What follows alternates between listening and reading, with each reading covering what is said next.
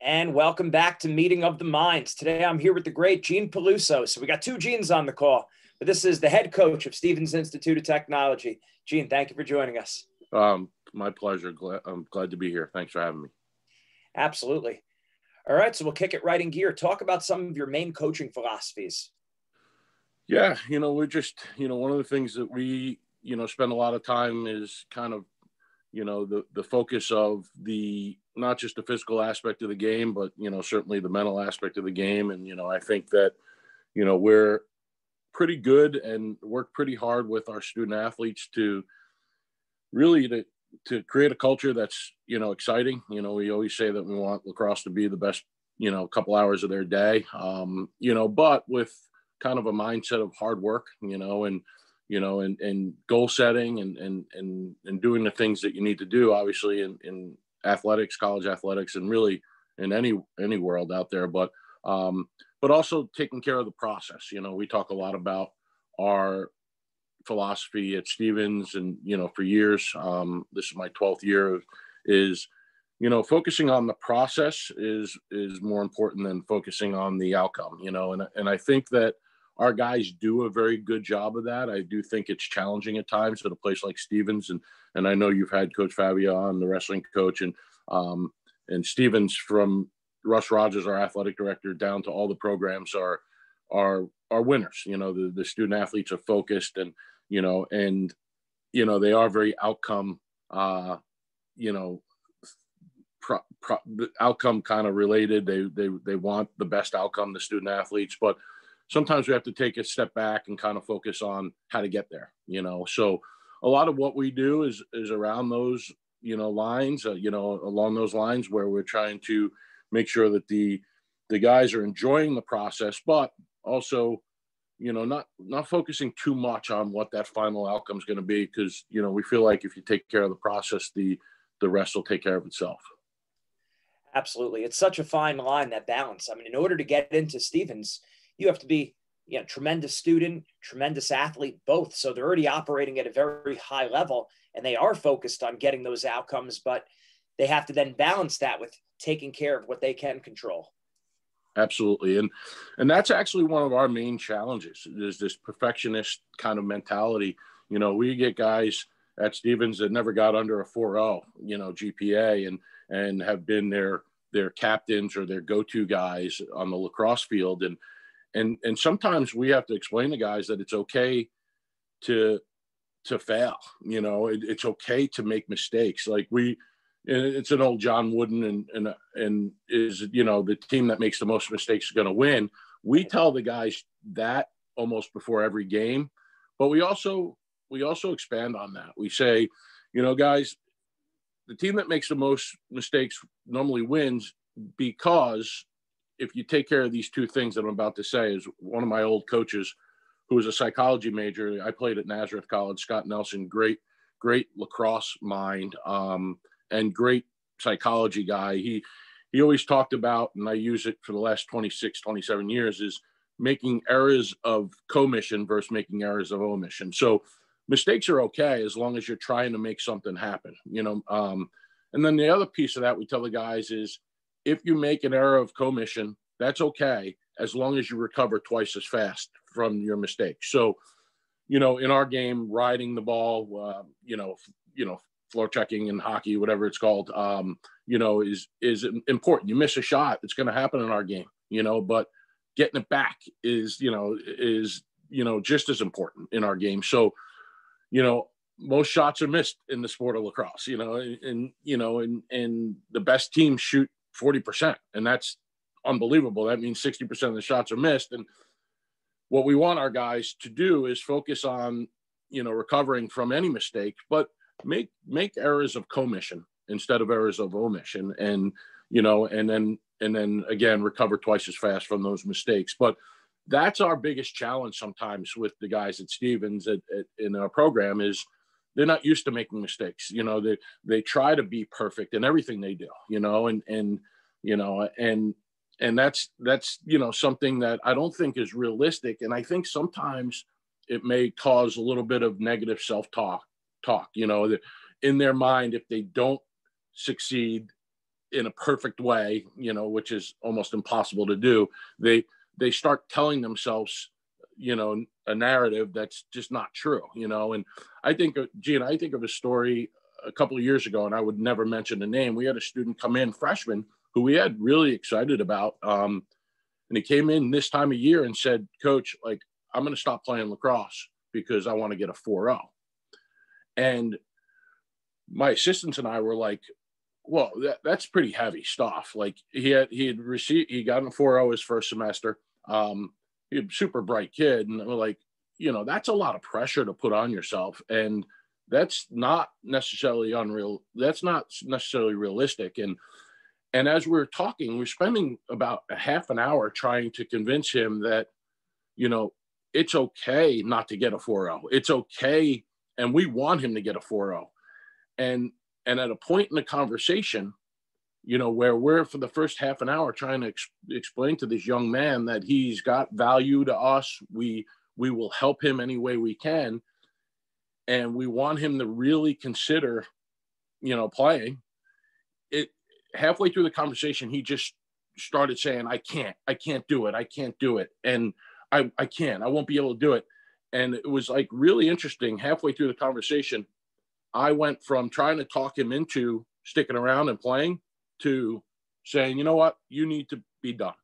And the reason why is not not tough love was that self-talk. He had put himself in a situation where he was already saying he can't do it he was convincing himself he can't do that. And one of my big mottos or big slogans is whether you believe you can or you can't, it's probably true. And you, you know, I didn't invent that, obviously, I've heard that, but um, and also your vibe really attracts your tribe, you know. So like if you're thinking along those lines and you're already convincing yourself you can't, like within an hour of a conversation with this young man, we went from encouraging him to it was going to be okay. Let's let's keep you involved. Let's keep you going.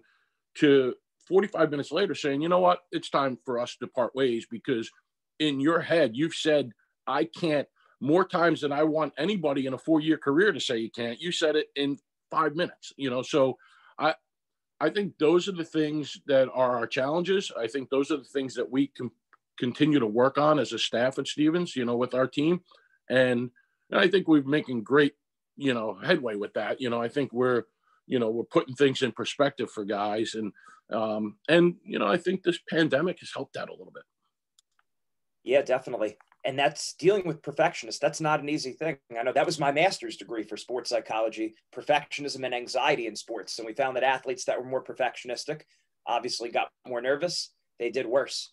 So we're addressing that kind of thing all the time. And, and also like you said it's having that fixed mindset versus the growth mindset, right? If he's saying he can't do it, I'm just no good or I'm not good enough, then his mind is already closed. So before we even get into the mindset training, we got to address that fixed mindset.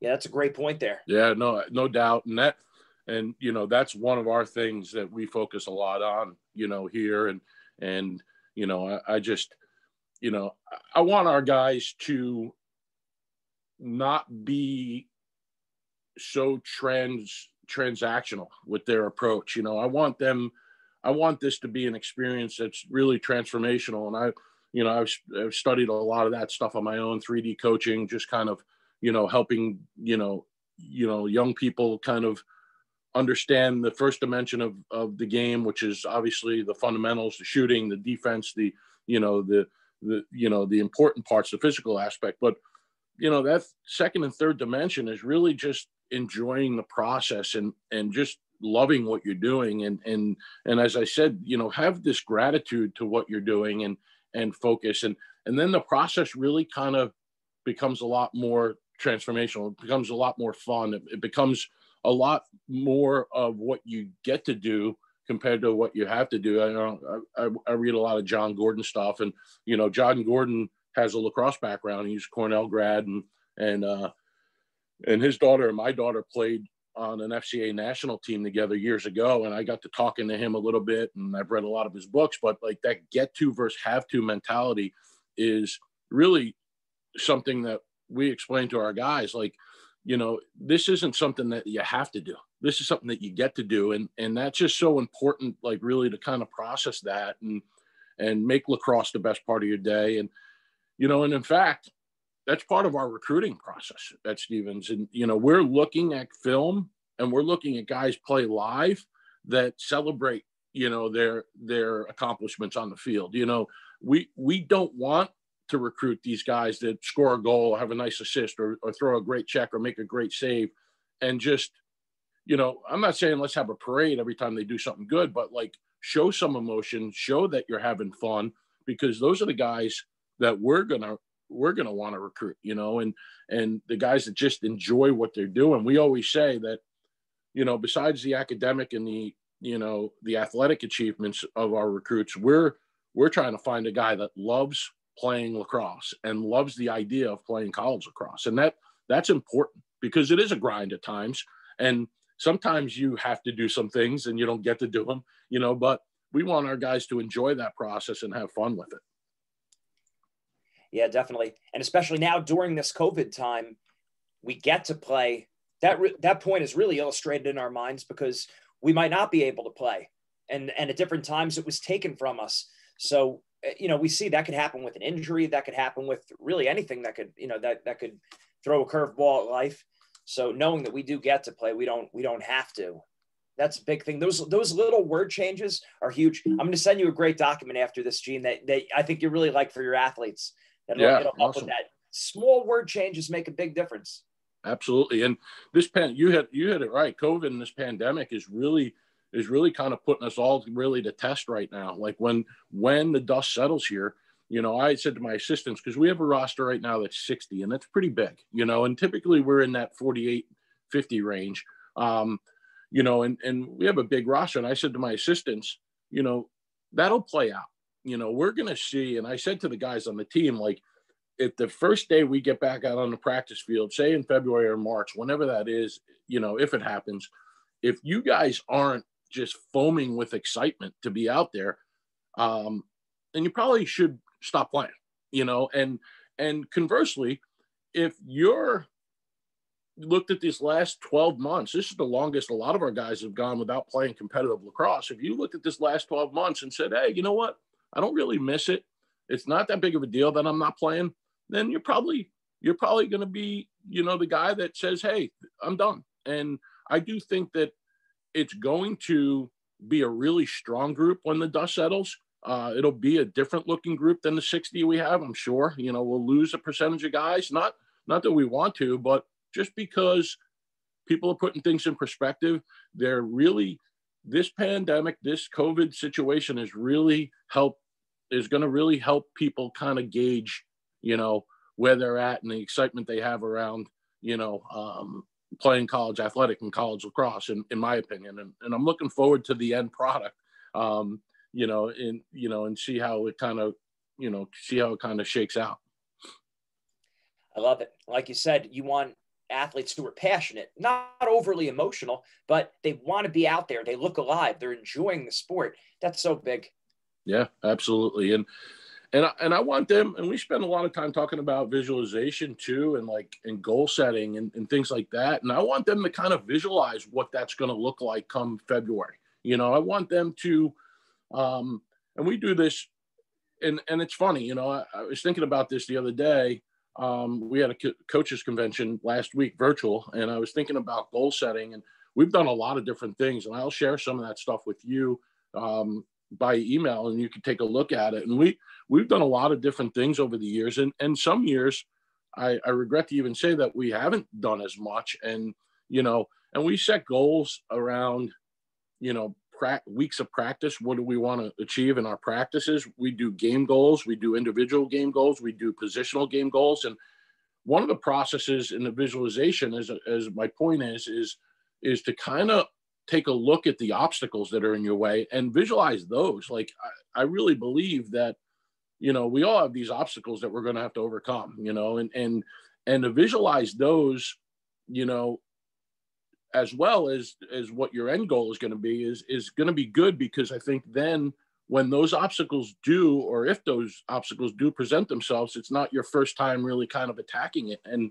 so we're trying to talk to our guys a little bit about picturing playing what it's going to look like practices are going to change you know how we're going to you know you know, how we're going to, you know, move forward with all this stuff. You know, we we t- we say to the guys that the teams that deal with this time away and this this pandemic uh, the best uh, and prepare themselves the best are the teams that are going to be great come this spring if we're able to play. So, but it's a process. Like you, you got to spend some time, and we do this, you know, over the years. Do spend some, some time thinking about your goals. You know, you you've heard the old saying, "A goal without a plan is just a wish." You know, like we we want to know your process. We want to know, you know, what the steps you're going to take. Everybody says, oh, "I want to be a better shooter." Okay, well, what are you going to do? And don't say shoot more because that's that's not real specific because if you're a bad shooter and you're shooting more, then you're you're still going to be a bad shooter,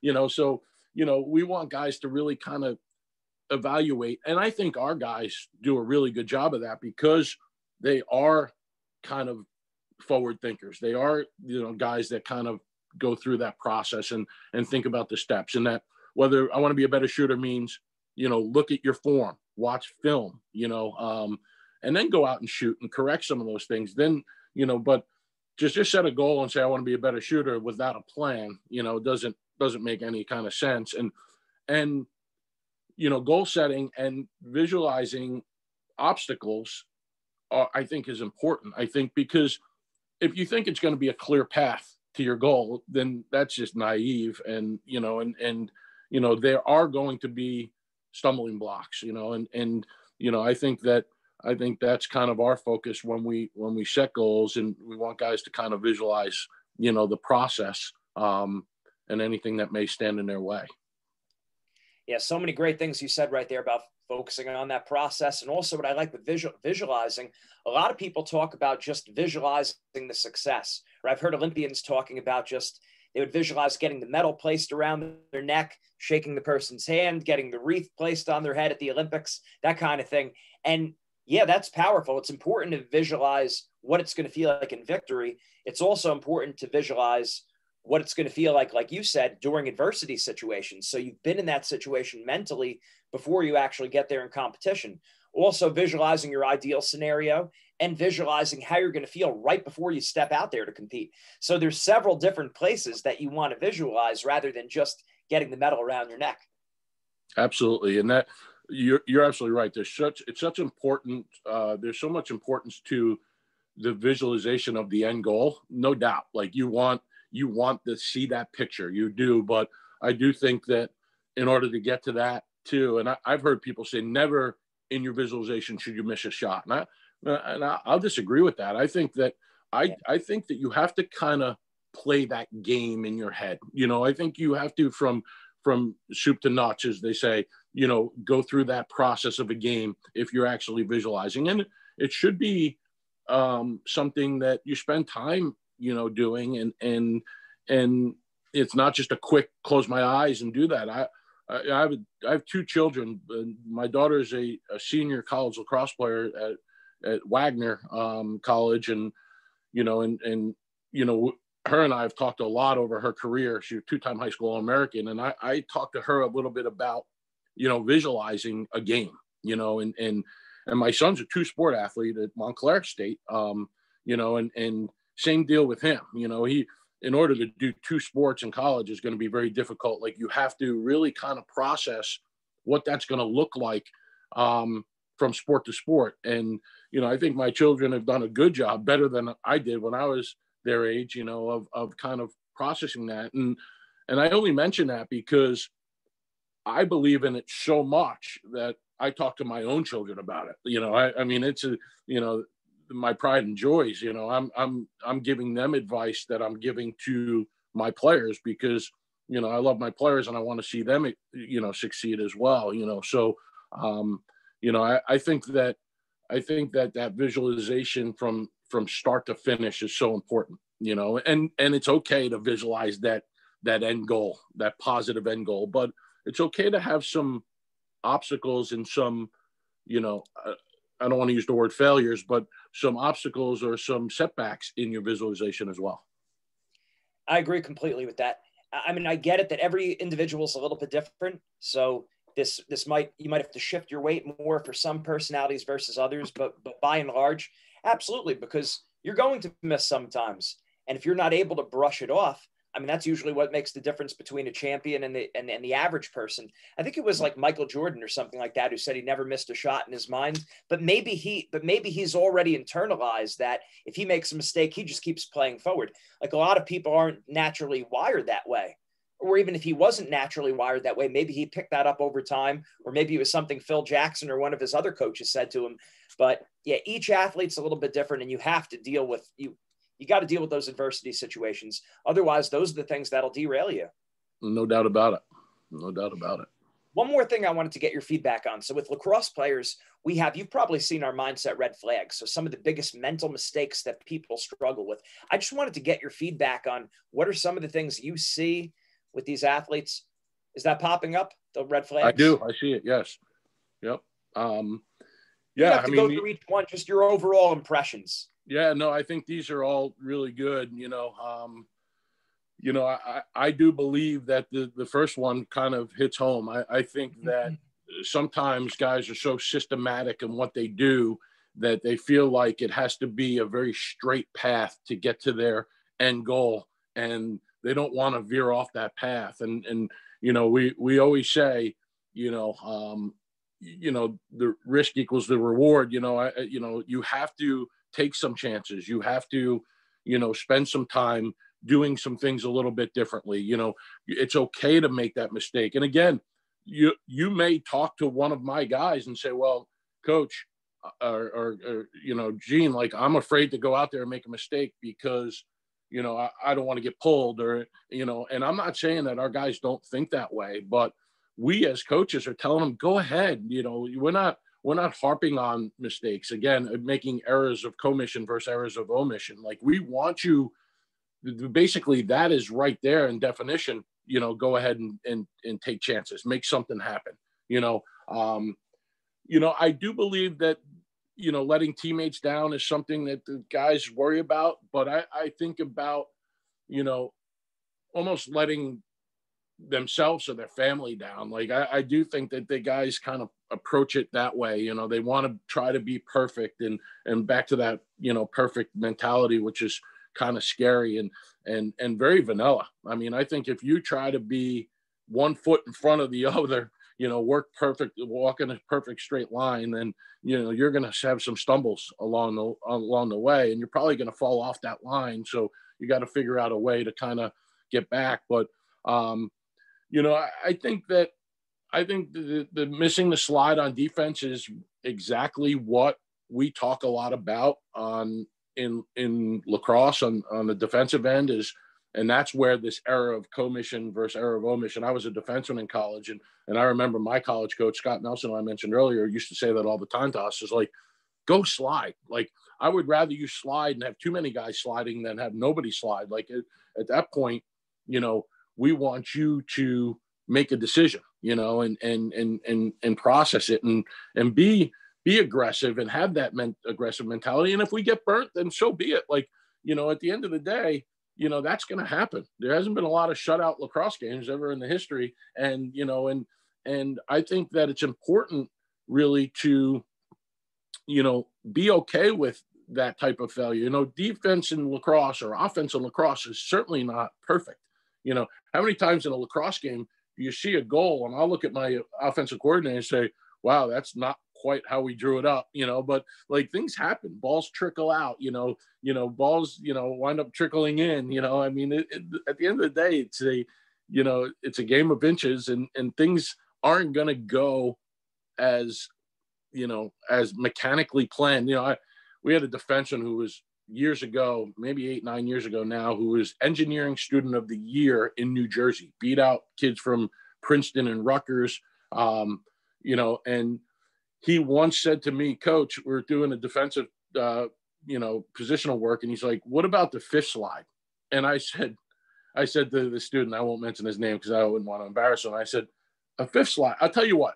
I said, if we need a fifth slide, throw the ball on our own goal and let's just face it off. Like, I mean, you know, they sometimes they sometimes think about steps four and five when it probably will never get to that, you know. But so sometimes I think thinking too much then almost becomes you almost become paralyzed by that type of mental analysis. You know, it's a, you know, you know, paralysis by analysis. Like I think sometimes I think that stuff is dangerous, especially when you're dealing with very high end engineers or very high end math and science people, you know, like the STEM people like we deal with. And, you know, that there's always an equation that should work. You know, sometimes it doesn't work in our sport. And most of the times it doesn't work the way we necessarily plan, you know. So, you know, I, I think I think that slide you showed was really, you know, really, you know, spot on with a lot of issues. And and we want our guys to just kind of enjoy it and and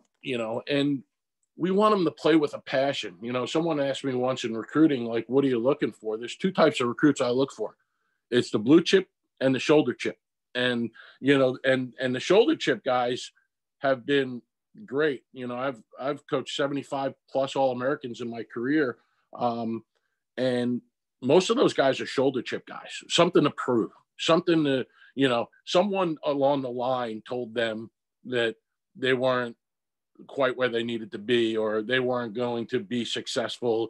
And I love those guys. And I love those guys with stories. We had a, a guy graduated, and again, I won't mention his name, who admissions was a little bit concerned about taking, you know, because maybe he wasn't up to what we normally were were um, looking for. And and the kid wound up being player of the year in the conference twice. He wound up being a three-time All-American, and he wound up ending his career as an academic All-American. And oh, by the way, he's in he's in pre he's in med school right now in a program. So that is someone that eight years ago when he was going through the process, people around you know me were saying, I don't know if he could be successful. I was like, yeah, watch. And you know, and I knew a little bit of background of the student, and he dealt with adversity while his, his time during at Stevens. Um, and and I, I just I'm so proud of those guys. You know, he was athletically, you know, a great player in high school, but academically people weren't giving him a chance. And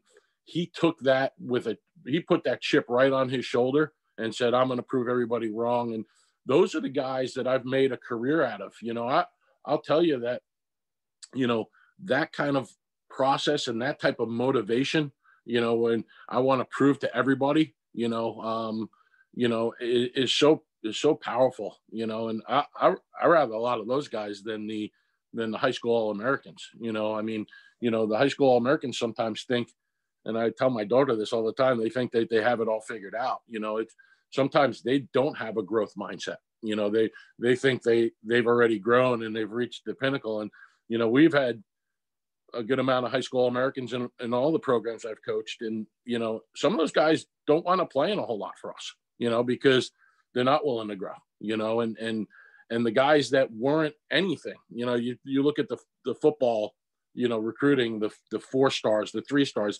I love to watch Russell Wilson, who's probably going to be the MVP in the NFL.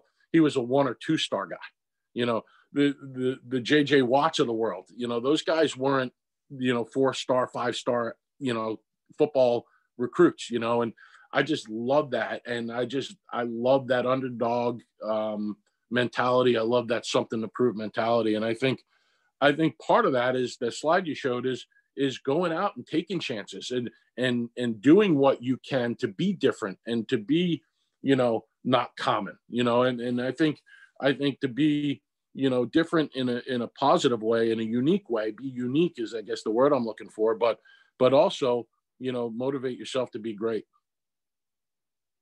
that's awesome. So many great gold gold nuggets of information there, Gene. I really appreciate it.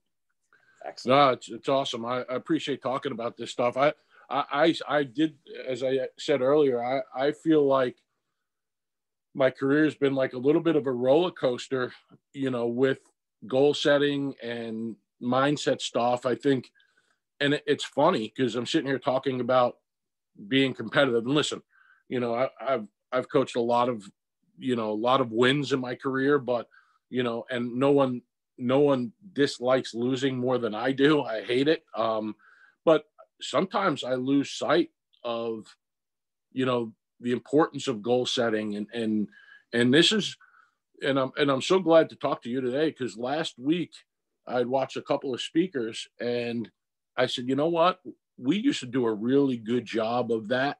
And in the last handful of years, we've had some great teams and we haven't done as good of a job of that, you know, and, and, you know, I want to get back to doing that because it's so important, especially now with really not being able to do anything and, and, and have some physical, you know, interactions with our guys. This is a, the best time that, to, to focus on the mental aspects. And I think this is the time, you know, to do that. And and plus it's worked from from my programs over the years, you know. So why why not do something that's going to work? And and you know, so you know, we've really kind of dust, you know, dusted off some of the things that we used to do. Um, you know, we haven't done in the last handful of years, and we're we're really going to start putting those things back into into motion. You know, and uh, I'm really excited to kind of see how how it all works out. And and, and you know talking to you really kind of kind of affirms and confirms a lot of the things that you know we're we're thinking about and, and moving forward here.